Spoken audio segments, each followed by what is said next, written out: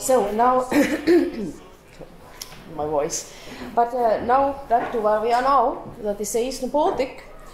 And uh, I would like to start with some um, picture of how the situation might have been in the 11th century.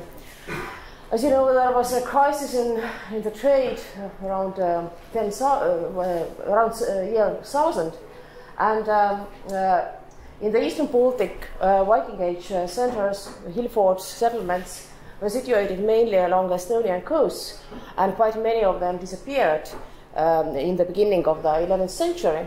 So the middle of the 11th century was a kind of transformation period, and then in the end of the century, there suddenly appeared new centers. Some of the most prominent ones you can you can see here. Uh, some were on the coast, others were probably connected with winter routes. And I try to argue that there probably was also a center where the present day Tallinn is. Another important trade route um, for the Eastern Baltic is uh, River, and there were a lot of uh, hill forts and, and, large settlements already before. Uh, and only in the 12th century there appeared a new one closest to the sea, that is Riga. And um, uh, the towns of Tallinn and Riga were actually established as medieval towns uh, in the beginning of the 13th century. And uh, I talk of um, these particular two, uh, uh, two sites and try to compare them. Actually, um, I wanted also to include the Curonian coast, but it's absolutely impossible within time limits here. Now, this is Riga. The situation around what turned to be Riga, and uh, you see it is approximately 10 kilometers from the sea, uh, in the place where there is a somewhat higher ground next to the river, uh, but no arable lands uh, in the surrounding. The arable lands only start um, about 10 kilometers from Riga. Uh, no lands, no archaeological finds, probably no, uh, no inhabitation in prehistory, at least not a, a permanent inhabitation. And uh, it's also important to note that um, uh, well, the uh, arable lands are there also start or actually started rapids on the Daugava River, so that um, that was um, that was impossible to to pass these rapids. But it was quite easy to sail in, in where Riga is. the, the old center is, of course, there where the arable lands are, a lot of cemeteries, settlements, and uh, a big center called Daugmale, a hill fort uh, settlement and, and, a harbor site uh, used already in the Bronze Age and then in later periods, and most intensively the 11th uh, century and the first half of the 12th century, and then it disappeared. Just back here once more. Uh, I want to point that the sandy areas around Riga, uh, these back in history were forests, and we know from written sources that it was a densely forested area, then uh, wetlands in between. Uh, the Riga itself, the old town, it has been excavated quite intensively, and uh, they have found two settlements. Um, excavators say that uh, it's, uh, the material is more or less the same as in ordinary settlements. And the cult place right next to the Riga Cathedral, which hardly is coincidence. Uh, the cult place features you can see in the smaller slide and actually, there has also been a hill fort, which has been mentioned in early 13th century as Mons Antiquus. And uh, you see from uh, the earliest picture of Riga that in the 16th century it still was there and quite impressive. But uh, it was removed in the end of the 17th century, or actually the campaign started in the end of the 17th century because it was a security risk for the fortifications. And uh, they couldn't finish it, then uh, it took 100 years more. So by the end of the 18th century, it was completely moved. It's plain in Riga. No one even imagines a hill fort there. Uh, that is Riga. Now, Tallinn, uh, the situational landscape a little bit similar. Uh, medieval Tallinn is surrounded with lands without any possibility for agriculture, sand, wetlands, uh, the lands start uh, at a distance of 5 to to seven kilometers south and east. The old center, Iru Viking Age center, uh, was uh, seven kilometers from medieval Tallinn, where the, at the edge where the Arab lands start, next to a, a small river. And uh, that was also founded in the Bronze Age, then abandoned and uh, taken into use again in, uh, in, the 6th century. And as most of the Viking Age centers in, in, along Estonian coast, it was abandoned uh, around the year 1000. Um, but um, uh, the areas around Tallinn, uh, which uh, on this map you see, well, if you see, it's actually an empty land, just sand and bushes, so that back in history it also was forested. It was pine, pine tree forest everywhere around the medieval Tallinn.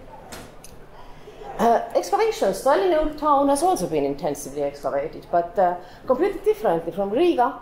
Absolutely no finds or cultural layer earlier from the 13th century has been detected so far.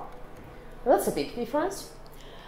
Uh, but the situation is even more complicated because we have tens of uh, radiocarbon analyses from wood in the old city of Tallinn, which point to the period before the 13th century, mainly the 11th, 12th century, but some of them also the Viking Age or even earlier periods.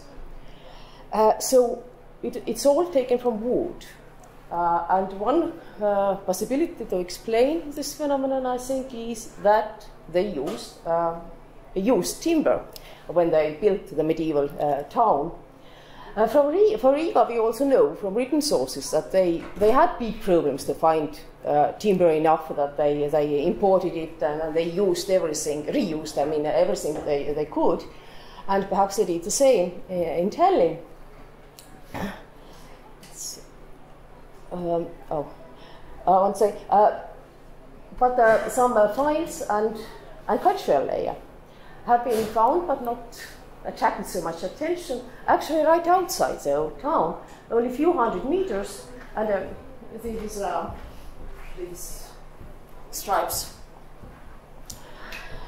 Um, which is very, very close, and, and some cultural layer is also on Toompea, which is a, a place of castle in later uh, times. And this finds another thing impressive. It's, it's a very old interior. We were building these uh, cellars and so on, mainly ceramic, some of it here, mainly 11th, 12th century. Uh, what is the situation? So there is also there is the settlement layers right outside the old town, but there is also a hill fort, which is mentioned also in the 13th, uh, early 13th century. And later on, there was a Danish castle built on Toompea. Uh, the importance of the site uh, is also expressed by the, uh, by the, by, the, fact that the Danish king uh, landed namely there in the year 19, 12, 1219. So he had chosen this place for his future center, which kind of underlines its importance. And uh, he started to build the castle to Toompea. Toompea is a natural phenomenon, actually. It's terribly impressive. Uh, it's uh, more than 40 uh, meters high uh, limestone cliff. Um, without the buildings, it could have been even more impressive. At the same time, it's very difficult to access it. Actually, the only access is through a narrow neck which connects Toompea hill with another hill. So we in Tallinn actually had two hills, and the other one is uh, nowadays called Tõnismägi hill. Actually, we can say that the one who controlled Tõnismägi also controlled entrance to, uh, to Toompea. and in several reasons, I think it's much more logical to believe that the, uh, the uh, mentioned in early written sources, the Estonian hill fort, might have been on, on Tõnismägi instead of Toompea, because uh, it was protecting uh, the settlement nearby at the foot of it, and it, it, it needed to be a little bit easier accessible, I think. But it was removed, most of it, in, in, frames of the same campaign as, as uh, they did in, in, Riga. I mean, they started in the end of the 17th century, they never finished it, so we still have some hill there. But uh, we don't know exactly how much. The speculations say about one fifth of it has removed the upper layer, so that it only remains speculation if there was a hill fort or not, because it's removed. And, and there is a very speculative reconstruction of the situation so that uh, uh, the harbor site, uh, which would be the other uh, place with a uh, with cultural layer, and then a kind of settlement, probably temporary uh, or like you know, seasonal, uh, and then some hill fort. And what was uh, there on uh, Toompea, this impressive tall hill? Uh, because we have found something, not really, not so many finds, but some, some, some ceramic, so some, some activity was uh, taking place there. So I think, because of its look and, and all the conditions, I think it should rather be a cult place. And the parallels, you know, Arkona, it's the same size, the same height, even the same shape. Or if you want, Visby, which is also there is a cliff, and it's, it's mentioned that it, it, it started uh, around a cult place in, uh, in the foot of a, uh, of a cliff. So, um, what the interpretation is? Both Riga and Tallinn has been interpreted as uh, agricultural settlements in the beginning of it. Uh, Andris Caune, who has uh, some, uh, collected all material of, of, of, Riga excavations, his interpretation is that, that Riga uh, started uh, already in the end of the 11th century as an agricultural place or ordinary settlement, and then later on there came some, some trade in as well. Uh, the settlement layers around Tallinn have not been really interpreted at all. Um, it's like not paid very much attention because they are outside the old town, and the general uh, interpretation is that there was nothing in Tallinn uh, before the 13th uh, century. Uh, I disagree. I think there are several question marks. Uh, I think both of these sites got their start as, as a kind of trade places uh, at least they seem not to have been um, agricultural settlements because they are so far away from um, Arab lands. So more likely they were trade and assembly places, and there are also some written sources pointing to as assembly place in Riga, but not in Tallinn. Speculation, of course. Uh, I want to point to this uh, uh ritual uh, uh, connection with ritual activity cult places. That probably also was quite an important factor. We don't know uh, if they had permanent, permanent inhabitation. I rather think they did not. They appeared something like seven to ten kilometers from from uh, Viking Age centers. Appeared in uh, um, in lands where that was not possible, which were not possible for agriculture but for trade. And uh, it is since uh, the location fitted with the demands for medieval towns, uh, both of these sites were rearranged as medieval towns uh, immediately after the incorporation of the Eastern Baltic area to the medieval Europe. Thank you, būt mano drauge.